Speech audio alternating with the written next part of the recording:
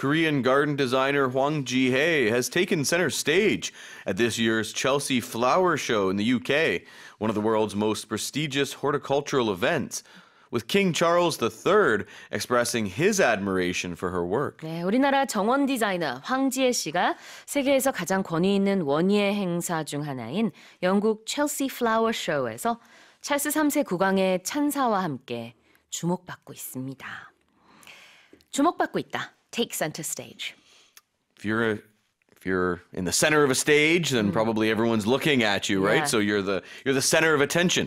As opposed to being in the corner or right at the back. Or, yeah, you or not even like- being on a uh, stage, yeah, right? aha. Just a regular person walking around, but yeah, you're on Yeah. a stage, you're kind of raised up, so it's figurative, mm. right? That And, and you- use take again here. Oh, here we go. Yeah, exactly. There's another one. Mm. Take center stage. Where are you taking it with you? Mm. Right? Exactly. So that is just one of those. English verbs that you have to. Just learn by heart. You just got to get used to saying it. You know, there's a few, many things that Yeah. we use it with. So many, 맞아요. actually. 네, take가 또 여기서 쓰였는데 또 전혀 다른 용법으로 쓰였죠.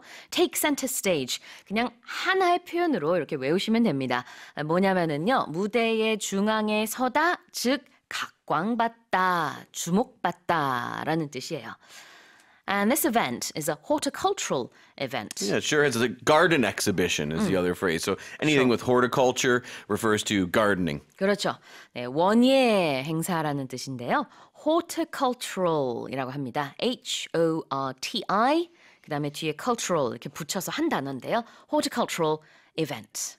A person who's into that can even be called a horticulturalist. 네, 그렇죠. 뒤에 ist 붙이면은 이제 그런 원예 어, 뭐 정원사가 될 것 같아요.